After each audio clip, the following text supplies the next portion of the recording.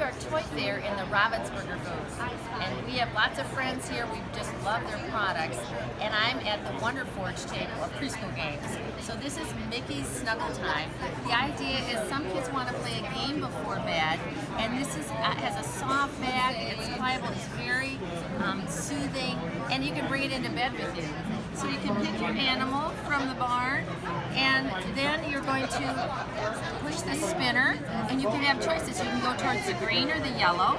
So I'm gonna I'm gonna pick who I got here. I've got a horse and he's gonna go to yellow. So you just put it on there and you make your way and if you land on the sun, it's getting close to sundown, so it's going to be time to go to sleep. So the fun thing is when you're all through playing the game, you put the pieces in this little pocket, and then you fold it up. Parents love this. No, no uh, easy put away here.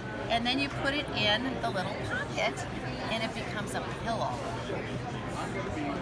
So night night.